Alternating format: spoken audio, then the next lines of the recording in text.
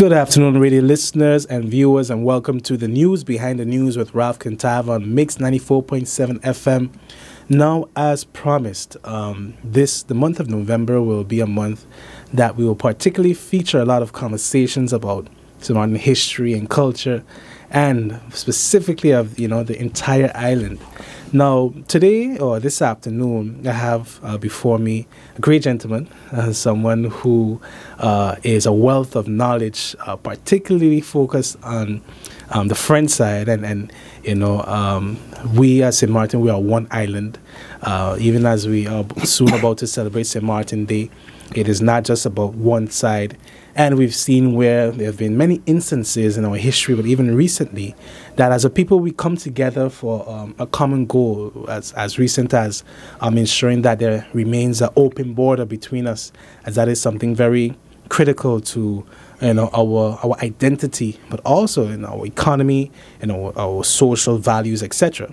So I would like to welcome you to the program, Mr. Gumbs. I have with me Frantz Gumbs, uh, former president of the Collectivité, uh, educator as well, and a lover of St. Martin. so thank Absolutely. you for coming to the show. It's my pleasure. I'm Good glad afternoon. to be here with you. Okay, great. Um, so I'm glad that you accepted the, the invitation. Mm-hmm. Um, one of the reasons as well that I- I brought you on, and as we spoke off air, is the fact that um, I could definitely sense that a lot of us here on this side of the island, you know, we're not too familiar with, um, let's say, uh, the political system in the north. And um, sometimes, you know, like let's say when we saw protests about maybe let's say the PPRN and so forth, we just know, hey, there's, there's a protest over there, but we don't know the, the details of those matters. But before we get into that, um, I would just like to, yeah, allow you to share your experience of growing up in St. Martin. I know you that you are from the uh, village of uh, French Quarter, right?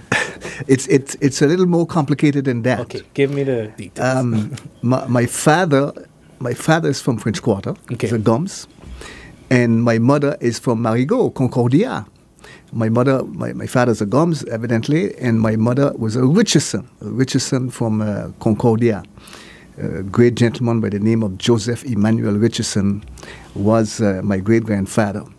So I was basically born. Um, uh, living in Marigot when I was born, but I was born in the St. Rose Hospital in Philipsburg. okay, that's interesting. okay, so um, because of the fact that my mother was car- was carrying a twin, I am half of a twin. I have a twin brother. Uh, of course, in 1954, most people would make babies in their house, in their homes, Yes. and, and the midwife, whoever had that qualification, would go to the home and deliver the baby. But because it was a complex uh, um, pregnancy with, with, with a twin, and that the hospital on the French side was not as uh, reliable, let's, let's put it like that, as the hospital in Philipsburg, the St. Rose Hospital. Uh, my mother was brought to Philipsburg. Uh, we were born there. And, uh, and, and a few days after that, we were taken back to, to Marigot, where we lived uh, in a small house in, in Gallis Bay, very precisely. And um, I, I do not have uh, really precise souvenirs of, of, of what, what takes place before I am, I am 15 or 16 uh, because of the fact that um, uh, I was very, very sick. I mean, I was a, a heavy asthmatic. And uh, what I could remember is that it disappeared at age 12. I uh, I have an explanation, but um, some of the thing, some of the things at that time that pe- people believe could uh, help you get over asthma is some some old time remedies that uh, older people might know, like like. Um, uh, tisane made of um, how you call that bush again? Uh, they call it gluten and st- stengen thyme. Stengen thyme seems to have some effect in soothing your your respiratory tract when you're asthmatic. But I also heard that if you boil a lizard into milk and you give that to an asthmatic, it could help. I am not convinced of that. That one, uh, the, t- the tisane, I- yeah. I, I'm not convinced of that, but all, the people, older Correct. folks uh, do, do say that. Uh, but one of the things I truly believe uh, that helped me you know, at that time, um, my, my, family, uh, my mother used to work in what you call a mairie. My, my father is a carpenter, excellent carpenter, by the way, with excellent reputation. And um, so both of them working, um, they had uh, what we used to call a servant coming in and, and, and taking care of the food and the children that were small and things. And this lady from St. James, when my mother would leave uh, me at home, if the sun was bright, she would tell, her, tell me, take off your stockings, take off your shirt, go bareback in the hot sun, barefoot on the hot ground. Mm.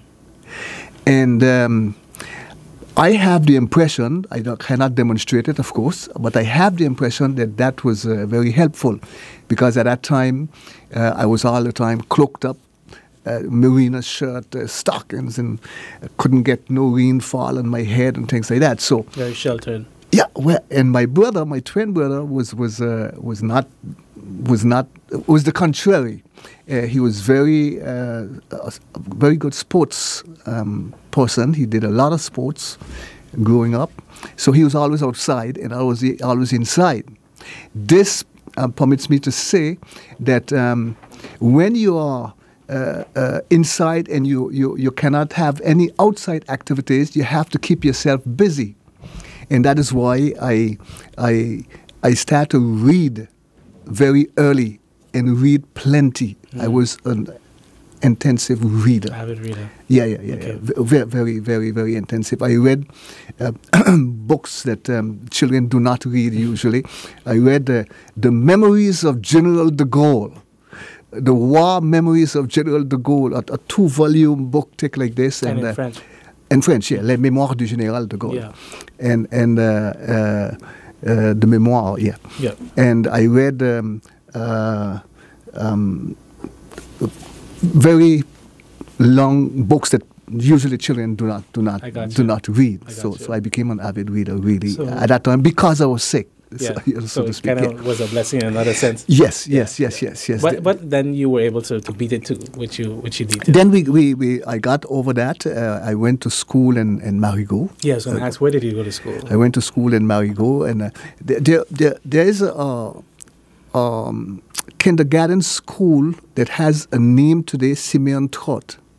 But mm-hmm. Simeon Trott is a lady that used to receive kindergarten children and she was in the neighborhood where I used to live. We used to call her Miss so I went by Miss School mm. when I was very young, and, and then to, to primary school in Marigot, what we used to call the boys' school, I suppose, and then they had a girls' school somewhere else, and after that, that changed.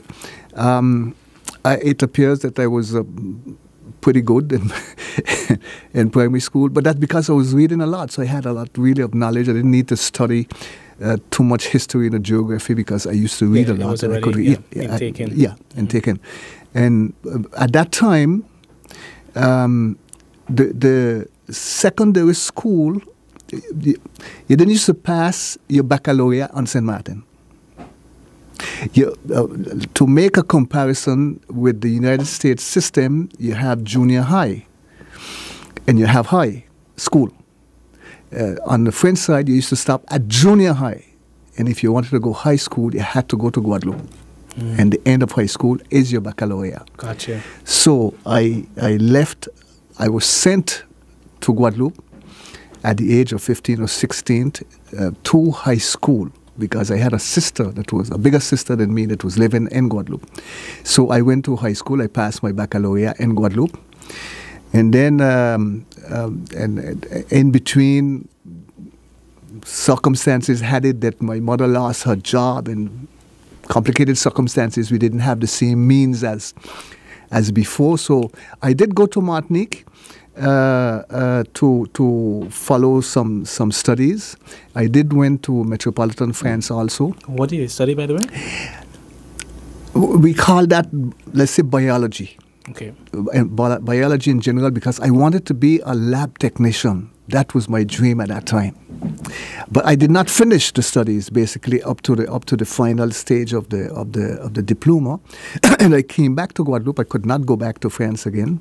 I came back to Guadeloupe because my grandmother used to live in, in Guadeloupe, and uh, my Guad- my grandmother is from Guadeloupe. My mother mother is from Guadeloupe, basically. Gotcha. Okay, Yeah, gotcha. and and uh, my my father family is from French Quarter. Okay, so you're fine. Okay, gotcha. Because well, yeah, because I, I always thought you born and born and raised in French Quarter. No, no, no, no, no, no. Gotcha. No, that's Marcel. yes, your cousin, right? Yeah, my cousin, yeah. Okay. And uh, so, being in Guadeloupe, basically, I had to look for a job. I had to look for a job, and I, I, I, I walked around in Pointe-à-Pitre in Guadeloupe to find a job in a lab. That's what I wanted to do. I did not find a job in a lab, uh, but at that time, the, the, the rectorat, the school authorities, the academic authorities of Guadeloupe, they were looking for teachers, substitute teachers, basically, just like nowadays again, anyway. And um, I, I got a job, I landed a job on the 12th of November to 1975. On the 12th of November 1975, I landed uh, a job, my first recruitment, and I, I, I was requested to teach maths and physics. Maths, physics, and chemistry. That was my the subjects that I, I had to teach. But what happened where they sent me to teach in Guadeloupe is a remote commune uh, compared to where I was living. It, it would have taken me more than two hours of bus driving to leave where I was living and get to where my job is. And I, I, I had to find a solution. I had to be there for, for 8 o'clock in the morning, and I could not figure out how to get there. I didn't, I didn't, I never went to that place anyway. But then I discovered that uh, there was uh, an internal flight, airplane flight, that flew from Pointe-à-Pitre, my area where I was living, to Les Saintes, some small islands off Guadeloupe, back to Basse-Terre, which is the closest place to where I was going to work.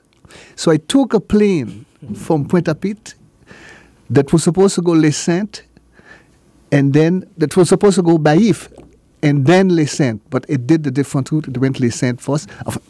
Long story short, I did arrive in Bouillante with my slim self, very slim self, with my afro well put, and my briefcase, my Samsonite briefcase, going up this road to the Lycée Professionnel. And uh, the, the, the funny thing is that on that specific day, there was a strike going on in the school. And because there was a strike, all of the kids, the children, were out on the streets and on the external parts of the school, of the premises. And um, because it was a vocational school, I was close to 23, and some of the students were close to 19. So these young ladies, they're looking at a playboy coming up the road. They don't know he's going to be their teacher. So they started psst, and all this kind of thing. Nice start as a teacher. Interesting. Yeah. So I taught there for three years. I taught another place in Guadeloupe for six years, and then I came back in St. Martin around 19 in 1983, In 84. Yeah. And so, what was it like then? Um, you know, after after spending uh, quite a bit of time abroad, even though it was Guadeloupe and moving back to Martin, um, how was the welcome back home? What was it like as a young man? I guess maybe you were um, looking at ways you could contribute. What were the differences you noticed on the island, etc.? Look here. At that time, Mhm. at that time, I am young, and um, at that time, I have a tendency of, how would I say that, burning the candle by the two ends at the same time. Okay. okay. Um, I, I, I cannot say today that I had a consciousness uh, that, that would drive me to social activi- activism and, and things of the sort. I was living a hot life. That's a fact. And so, where, and where were the hot spots, by the way, then?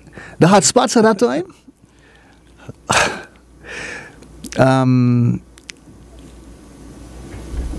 Gus Disco. Uh, you had a place up in, um, in at the entrance of Friar's Bay up there. I don't know if you know that discotheque at the No. entrance of the disco.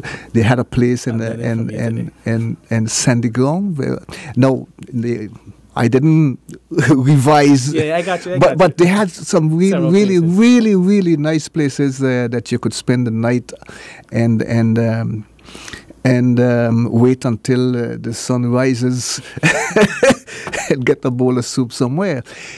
There was not as much cars as now. Mhm. Uh, there was basically, according to me, no no no gunfights, no knife fights and things like that. So I mean, I never, I was never confronted in my life up to now with with, with that kind of experience where there was there's such Animosity. animosity Yeah, yeah. between people that it, it, it, it people get hurt Yeah. out of it. Uh, but at that time, I do not remember. People had a good time, a fairly good time.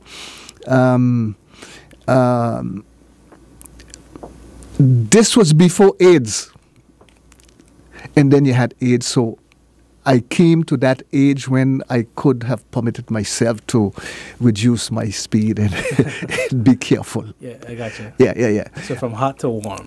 Yes, I'm back to warm, and then I got I got uh, I got married, and uh, you know marriage marriage i- is does does does does carry up the temperature for some time, Yeah, yeah. but it don't keep the temperature to the maximum all the time, or or, or either you'd be burning off yourself. Yeah, I got you. I got you. I'm newly married, so I'll tell you now.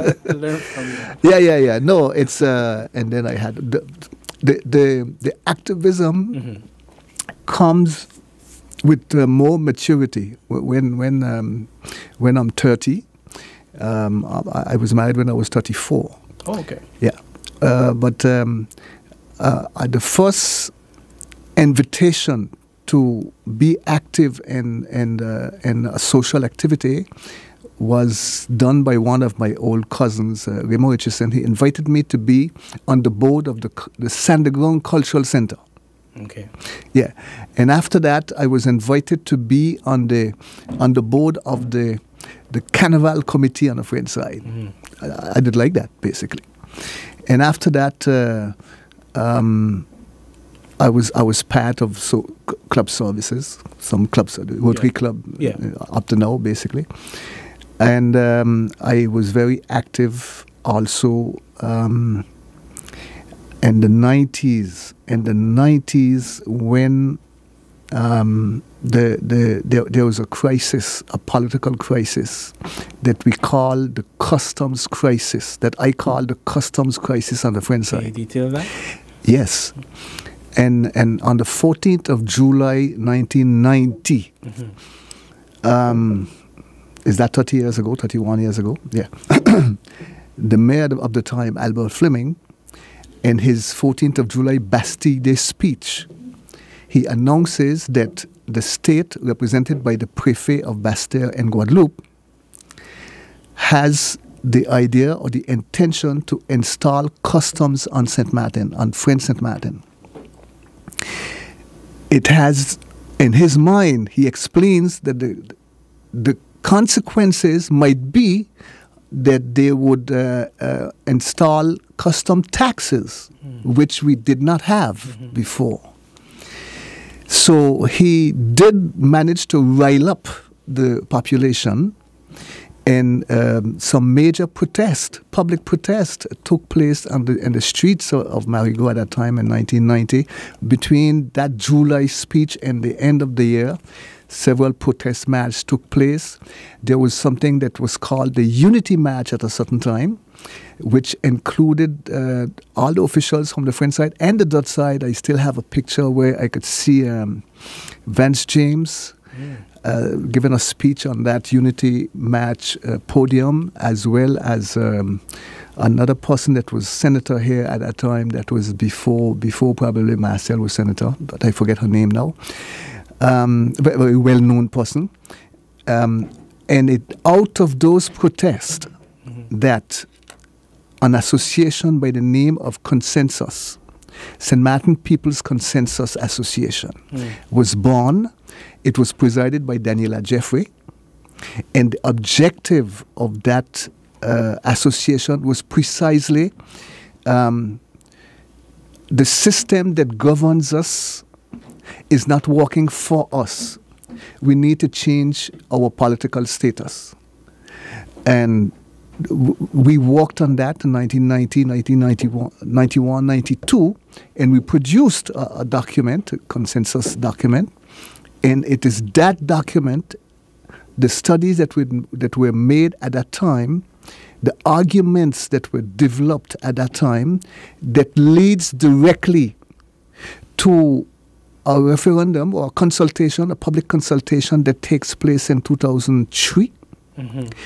And that consultation, the, the answer to the question, the question being, uh, do you want to change status uh, and go into the framework of Article 74, or just breaking it down? Yeah, yeah. And that was the question you want to change status or not? And the answer was yes for 74% of those who voted.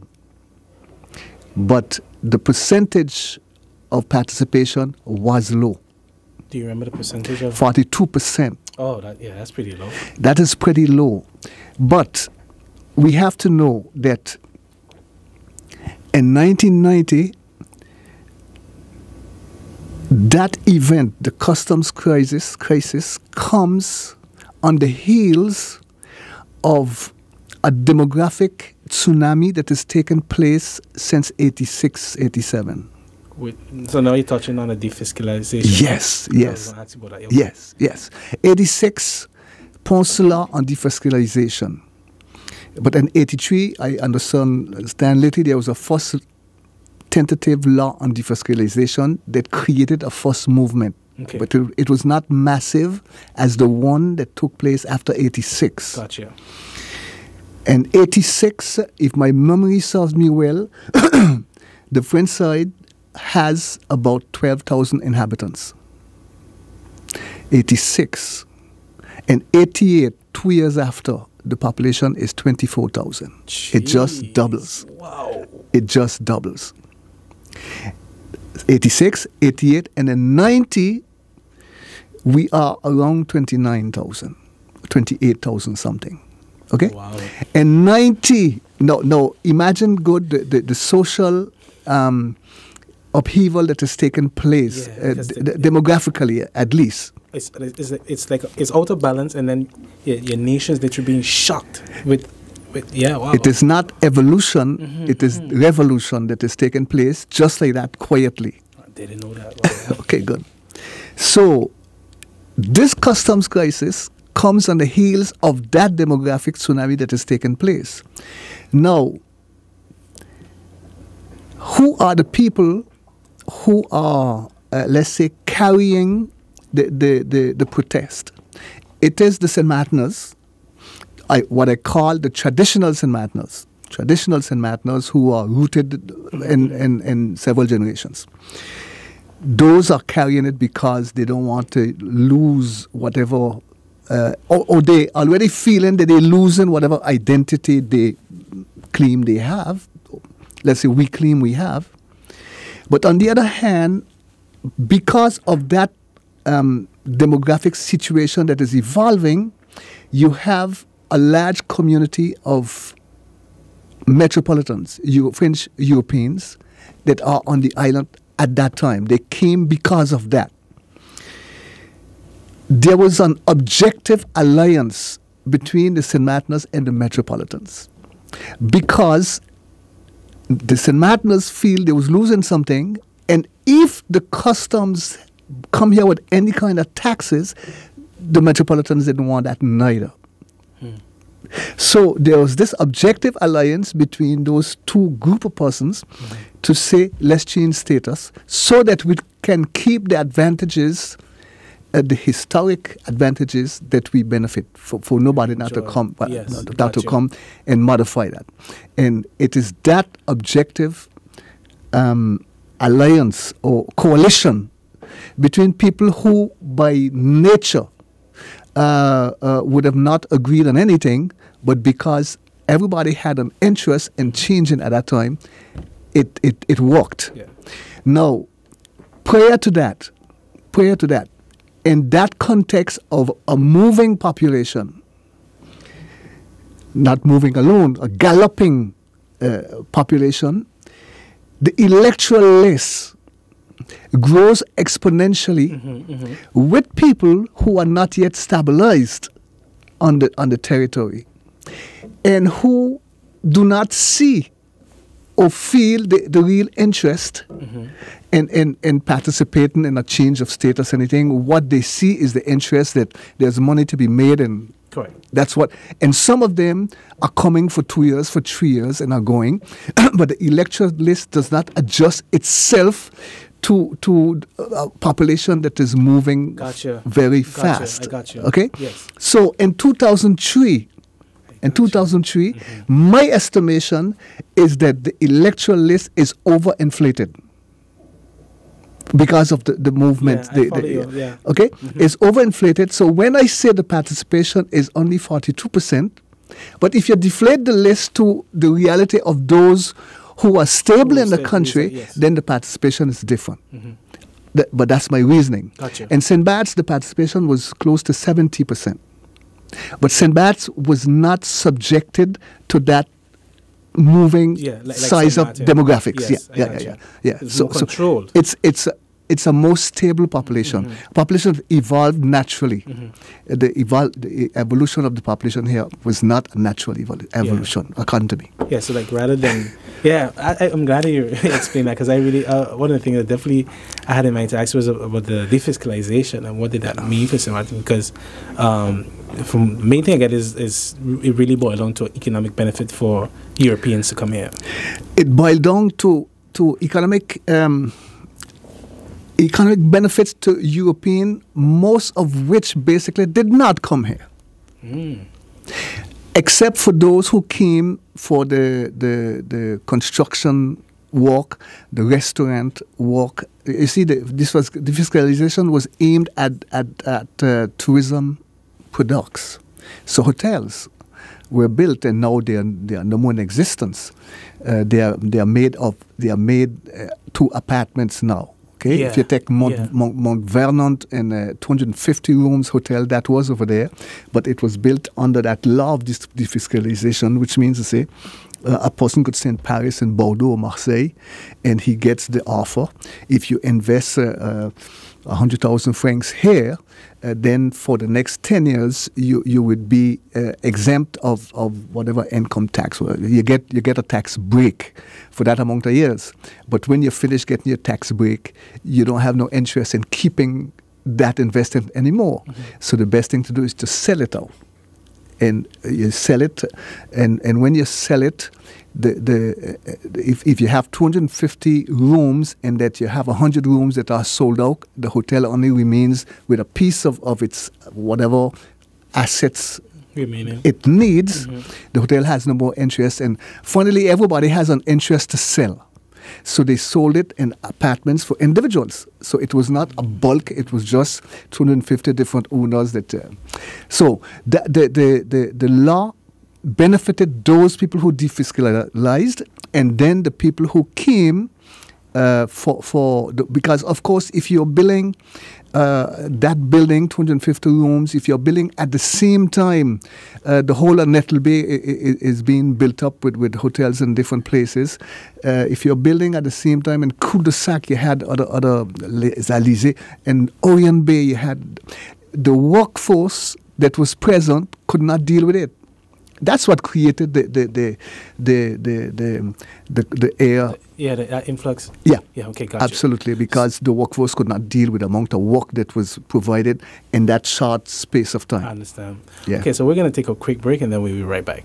No problem. Good afternoon, viewers and listeners. You're tuned into the news behind the news, and this afternoon I am joined with Mr. Frantz Gumbs, uh, and he is uh, sharing with us some interesting stories, uh, not just his personal um, life, but also the development of the French side. Um, and so we, left, we last left off uh, the discussion about defiscalization, mm-hmm. and uh, yeah, that interesting uh, boom that we're seeing in population on French side, which is you know which is interesting because you know you can, you can really see similarities on how both sides experience the same thing, but just uh, in a different system. Uh, even politically, because you guys had your referendum in 2003 that led to um, the new status that you have. Ours, well, we had two, first in 94, then in 2000, but only our status only changed in 2010.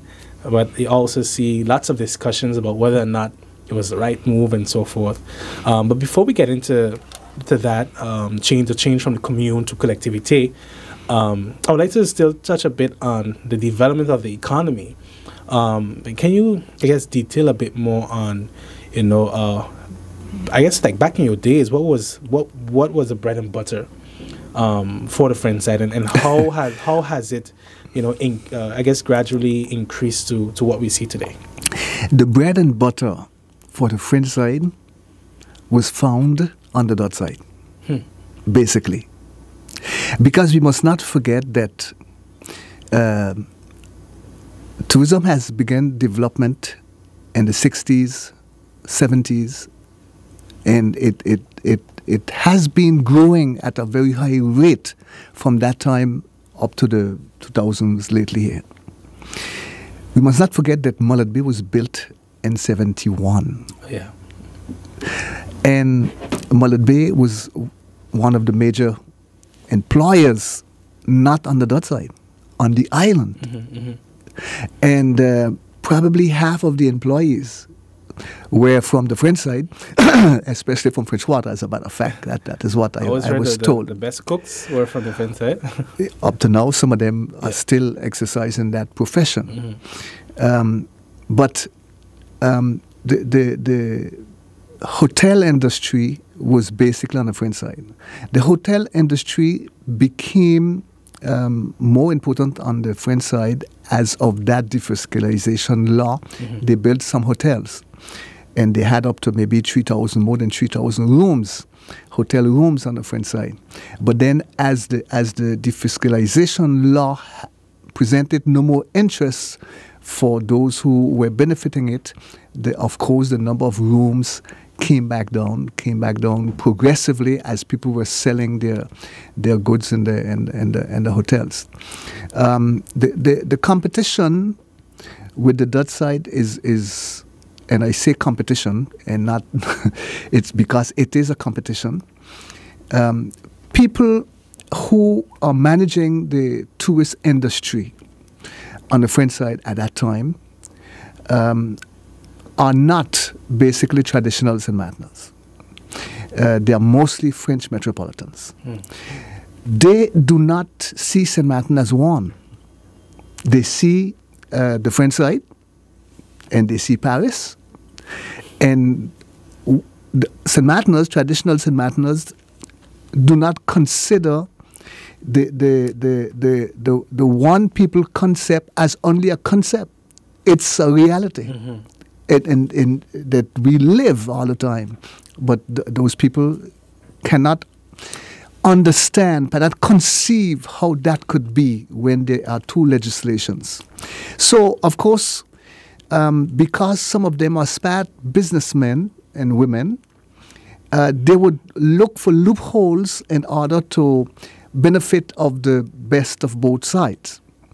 Uh, so one of the uh, one of the things that that uh, uh me hampers us in terms of comp- competing with the Dutch side is European norms, because we are uh, up to now part of the European Union, although not part of the custom union of Europe, uh, which which it's a little complex, but. Um, they, they, we, we are subjected to the norms in terms of construction uh, and in terms of, of classification of hotels, for instance. Um, I was told by, by a hotelier once uh, in, in my former function that we cannot compete with the Dutch side because the, the, re, the rules, la réglementation, um, in terms of what kind of sheets or curtains you put in a hotel room, the, the, the, the, the, the norms, the European norms, exacts that you, that you put that kind of um, material mm. because it's harder to burn or something like that, but it's much more expensive. Which the Dutch side was not subjected yeah, to, the, to, to, to, yeah yeah gotcha. uh, the, uh, for for construction for instance uh, constru- um, construction for instance I was told I don't know how true it is that the steel that you use to to to make concrete walls has to respect certain norms uh, um, in Europe in general, in France in particular, uh, that that are not to be respected automatically. The norms of construction are more um, stringent on the French side than on the Dutch side. That is was my understanding. So these people that are coming from France, they know they are subjected to those rules, but they know also that if they could get away from it, it would serve their purpose uh, because it would bring down the cost of, um, of, of, of, these, of these operations. Mm-hmm. So they, they, they, they like uh, how the Dutch side operates because it is more f- free or more uh, less less expensive. Okay. Mm-hmm. Um, but at the same time, um, their workers uh, could see more advantage to be working on the French side because first of all the minimum wage yeah. is, is, is, is different and then the, the, the social safety net also is is uh, advantageous very very advantageous yeah. so but it did not benefit too much of the local population because if you take for instance the the, the restaurateurs a lot of restaurants um, they, they, you see, but this, this is human. This is a human attitude. This is a human behavior. Birds of a feather flock together. Mm-hmm. You cannot get away from it. It's a human behavior unless the law tells you that that's, that natural law is, is no more the law, then that remains the law. So therefore, if if you have uh, uh, a place, you would look for probably who look like you. uh, and and and those people they did search for people who look yeah, like them. Kind, yeah, which we have as well. Good. Yes. you, you, see what I'm saying? Mm-hmm. But I, I I can blame them, but I don't want to blame them because it's a natural and, and yeah, uh, I attitude. I, I, yeah, okay. Saying, yeah. So you had young people who worked for the season and um, and uh, the, the, the the summer season in the south of France and uh, when the summer season is over, you got winter, then you could come here because winter over there is high season over here. Correct. So there's a lot of jobs opening, but they use the system, probably abuse the system at a certain time. I don't think they could get away with it anymore, but at a certain time they abuse the system because those young people who worked as servers and barmen in the south of France in the summer would would inscribe to um, unemployment to the Pôle emploi, unemployment yeah. bureau, yeah. get the benefit for being unemployed. So you are covered socially, you, you got uh, some little whatever compensation, and you could come in entities and come to St. Martin in particular and work in that employer doesn't have to declare you because uh, you don't have your social security because you are in. Some people did abuse yeah, the yeah, system in yeah. that sense. Yeah, I got you. And that is why it was sometimes more interesting for those employers to employ that type of personnel than to employ the locals here who went to school and, and developed their skills in that field. Yeah, so you know, interesting thing, I didn't even think about it uh, in, in this conversation. Um, but in, in various ways on both sides, we have ways of uh, really diving and skipping through these loopholes. absolutely, absolutely. you know, if you if you if you look for them, you're gonna find them. Yes, if you look for them, you'll find them. It's true. Yeah, yeah, yeah. So one of the interesting, so one of the things for sure. I would like for you to break down, um, as I mentioned in the introduction, was in understanding um, the collectivity. How exactly does that function, and and why, in in your estimation, was the change from commune to that better or or not as good? Um, can you, I guess, this detail. For me, difference. for me, it's it's uh, it's uh, it's it was a game changer. It was it was it was a good it was a good thing to do. But that's my opinion. Everybody does not agree with me. Everybody, but if you put yourself in uh, in those 90s years when the, expl- the population explodes. Uh, after Luis, uh, 95, uh, you have problems. Um, the, the, the, the country is managed by, by a local municipal council headed by a mayor, and the, the, the competencies. Who, for instance, manages, not manages, maintains the schools. It's a complex uh, operation. The local municipal council, the mayor, is in charge of building and maintaining primary schools and financing them and cleaning them and things like that.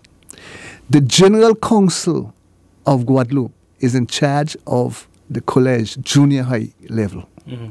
And the regional council of Guadeloupe is in charge of high schools. Lycée. Lycée. Mm. Th- that's how it's shared. So that's complex. Okay.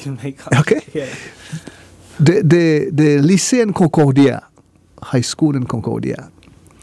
We were lucky to get it. We were very lucky to get it because the, the guy that was there was a friend with the, with our councillor, regional councillor, representing here in Guadeloupe.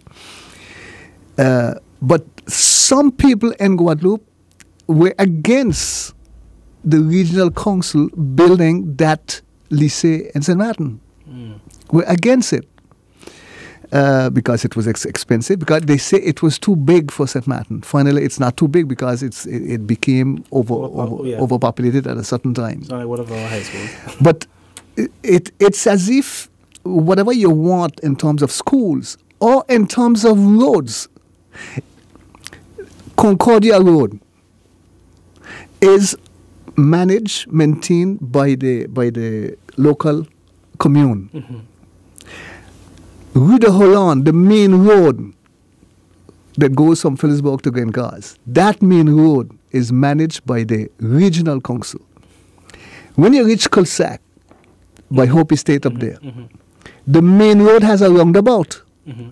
that permits you to go into cul-de-sac. Yes. That cul-de-sac road is a local road.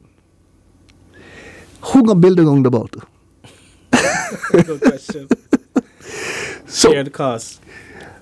But you got to go Guadeloupe to negotiate this thing. Yeah. Okay? So when we changed status in 2007, the roundabout of, of cul-de-sac had begun, but was not finished. But it was paid by the, the Région Guadeloupe, the region, regional council. But they wanted to to several years before we changed status, they wanted to stop spending all monies in St. Martin. So I did go to Guadeloupe after as president. yeah, oh, no, oh, I forget to add that, but you, you, were the first president of the. No, I was not exactly the first president. Oh, I'll, okay. I'll, I'll, come back to that. Okay, all right. And I negotiated with the then president of the region mm-hmm. to add a little finances first for, for, for us to finish that roundabout that you were supposed to finish, you didn't finish. He did accept, I have to say. But um, that's a negotiation. Yeah, before the change of status, um, everything, most of the things that were in, infra- infrastructures um, had to be decided in Guadeloupe. And, and um, if you are a Guadeloupean, where the economy is mostly planting of cane and banana, and the tourism was very low at that time. The president of the general council or the regional council, he's getting the pressure from his constituents that is close to him. that can go in his office, that could go and put whatever pressure they want to put. So he will have a tendency naturally to answer the calls from those that are closer to him than to answer the call from St. Martin. Uh, if I want to see the president of the General Council at that time, uh, I had to take a plane, reach Pointe-à-Pitre, then take a, a, taxi, reach Basse-Terre, then find a hotel in Basse-Terre for me to sleep the night and come back up the next day. Complicated. The General Council was in charge of social affairs, which means to say all your files concerning old age senior citizens, mm-hmm. all your files concerning young children that have to be vaccinated, for instance, that's the General Council who does that. Mm-hmm if they don't want to put the means to maintain a, a, a Bethany home or old age place because they have other priorities, then you will pass after. So it is that discrepancy between the, the, the, the, the decision making process, where it is placed, compared to what you need that motivated uh, the, the, the, the, leaders in general and the population became to, convinced that, that, if you bring the decision making process closer to home, mm-hmm. you would have more efficacy in terms of of um, um, functioning, yeah, yeah functioning fun, of, yeah. of, the country. Yeah, gotcha. yeah, yeah. Okay, and uh, yeah, that clarification on okay. the when when yes. when um, the inauguration of the collectivity took place on July 2007, there was that first election. And that first election was won by uh, the party that was named, um, um, that was led by Louis Constant Fleming. I was on his list and seventh position. And then, you know, in these elections, you, you have to declare your campaign budgets and things like that. In France, it's very strict. They look they look at that. Yeah, campaign finance. Yeah, yeah. and um, he he he was he was demoted by the Conseil d'État, State Council. State, uh-huh. So he was he was rendered ineligible. He, he had to give up his position. Uh, the courts says so. So he remained president from that July until the following July or the following April or May. So almost a year. Almost a year. And then there was an inside fight inside of his party okay. because the number two on the list, a lady, um, claimed that she had all legitimacy to take the number one position and become the president. But the leader of the party had his choice, and his choice was me. I wasn't asking for nothing. You were number seven. Yeah. Okay. His choice. He could have chosen anybody basically on his on his majority party. His choice was me. Um, he insisted, and then the, the, the, the majority of the majority insisted also that you don't have a choice. You got to be the president. So I accepted the challenge. That's all. And I became president in um, in August uh, in August or July, July, August, August, yeah, vacation of the 2008. Yes. Okay. Now, when that election took place, the election of the president is not a general election. It is done within the, gen- the council, the territorial council. Oh. The list is elected by the people Okay, I got you. I but the you. president is elected by, by, who is elected into the yeah the uh, council, the, the, the island council, basically. The, yeah, well, we call it uh, territorial, territorial, council. council. Yeah, and I said that for kind of yeah, yeah, yeah, yeah, yeah. which which has a, a, majority and has a minority. Got you. Good. Got you. So when I was elected by the territorial council, that election was also contested by by uh, by that lady that feels she, she was supposed to be president. It was contested and she won the contestation. I was demoted. I lost the presidency through courts. Mm. So we, the following year, in May the next year, we reorganized another election of the president, and she was again candidate, but I won a second time. The, the, I lost the first time because of a technicality but, but uh, I don't want to get into it. But the following year, we redo, we, we, we run the election, and I did maintain my position as president until the end of that mandate in Which was- 2012. Which was? Oh, 2012. Okay. 2012. Um, yeah. Okay, so then in that case, and what was it like? Um, I guess setting up this new status, functioning as a as a collectivity. What were some of the challenges that you had to overcome? we, we inherited of um, competencies that we did not have uh, locally. One of the challenges is that I have to admit we did not um, manage to prepare um, the, the necessary personnel to manage those competencies. We, we, um, there's always a comparison between uh, St. Bart's and St. Martin. Uh, how they managed to, to, to, to make it work for them, and we did not manage to make it work for us as good as them, is because they uh, did prepare um, the, the, the transition better than us. You see, Bruno Magras, who is the president of the collectivity since its inception in 2007, was also the mayor of the commune who prepared the transition for him for his presidency. The difference in St. Martin is that the mayor was had no intention of becoming president of the collectivity, Who was the mayor at that time? Albert Fleming. Okay. He never lost an election, eh? but he he didn't. He was not a candidate to be president. Gotcha. Okay. So, for me, he did not have the same motivation in terms of preparing the transition than someone who uh, had the intention of picking up the mantle of the presidency just after that. So we were not as well prepared as. Bart's. And we had to play catch up at that time. What hampers us, hampered us plenty is that situation with the first president, Louis Constant Fleming. It, it took a lot of energy to deal with that. And shortly after I became president, my first vice president um, leave the ship. He went on his own, Who was that? Daniel Gibbs. Oh, interesting. I didn't know. Okay. Okay?